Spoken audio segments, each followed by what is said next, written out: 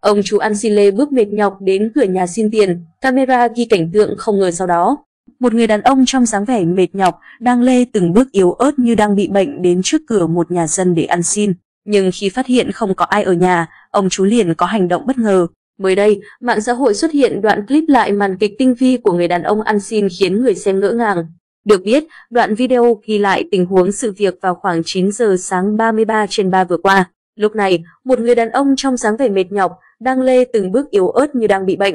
Ông chú cầm chiếc mũ lật ngửa, chia ra để xin tiền trên đường. Người này sau đó cầm mũ tiến chậm chậm đến trước cửa một nhà dân.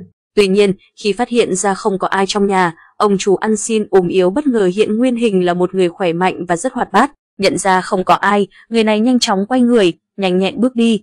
Toàn bộ màn đóng kịch này đã được camera giám sát ghi lại. Đoạn clip sau khi đăng tải lên mạng xã hội đã nhận về nhiều quan tâm và bàn tán từ cư dân mạng. Phần lớn đều tỏ ra bất ngờ trước màn kịch của ông chủ ăn xin. Có ý kiến bày tỏ vấn nạn một số người lợi dụng lòng tốt của người khác để trục lợi. Đàn ông sức dài vai rộng nên kiếm công việc để làm, trang trải cuộc sống thay vì đóng kịch, giả vờ để kiếm lợi từ người khác. Một số bình luận từ cộng đồng mạng. Đóng kịch quá chuyên, nhưng đang có sức khỏe thì tự đi kiếm tiền đi chú ơi. Ai cũng như chú này thì chết giờ. Nhiều người còn giả ngồi một chỗ như khuyết tật để ăn xin, đến tối đêm không có ai thì đi lại bình thường. Cảnh báo nhiều người không nên để lòng tốt bị lợi dụng.